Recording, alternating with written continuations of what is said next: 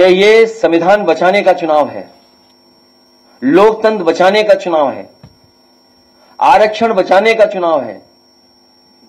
अपना अपना सम्मान बचाने का चुनाव है? और अगर हम कहें कि अपनी आज़ादी बचाने का चुनाव है तो जिस तरीके से कभी मंथन हुआ था, ये समुद्र मंथन की बात जो हुई है कभी ये संविधान मंथन का समय है। एक तरफ़ वो लोग हैं जो संविधान की रक्षा करना चाहते हैं, दूसरी वो लोग हैं जो संविधान को खत्म करना चाहते हैं।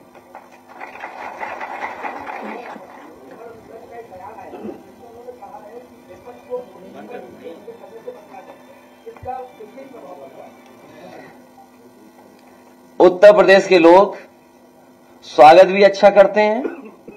और उत्तर प्रदेश के लोग जब विदाई करेंगे, वो भी बड़ी अच्छी करेंगे। जो लोग चौदह में आए थे, वो चौबीस में जाने वाले हैं। और दस साल हिटलर का ही समय था। दस साल से ज़्यादा वो नहीं रह पाया वहाँ पर। तो दस साल तो इनका भी पूरा हो गया।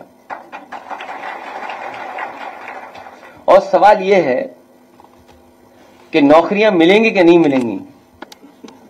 भारतीय जनता पार्टी हटाओ, नौकरी पाओ।